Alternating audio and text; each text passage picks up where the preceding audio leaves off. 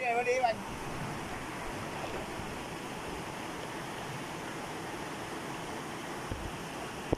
Mà mày mày phải hành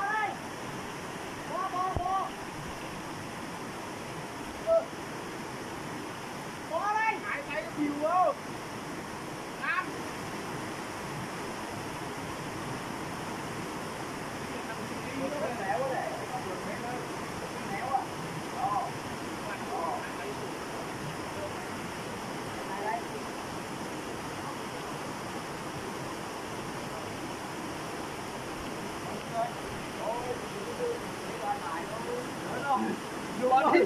Con đi mà dập chết cái khúc rồi đi à.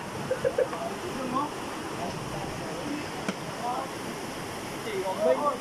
Chỉ còn Minh đi dập con thế là cái sập đó